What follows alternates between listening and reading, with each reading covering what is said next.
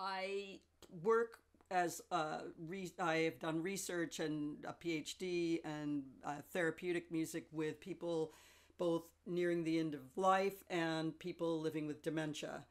And those are my two main um, interests. And I, that I, the idea that is a really important one to me that I worked on with my PhD was about this idea of a sonic haven so I was thinking about this concert today and I was thinking about the list of people who were going to be coming and I was thinking about how not only geographically spread out you are, but how in my lifespan I mean, we could spend this whole week. Uh, the ties are very lovely, but they're all very um, s- separate.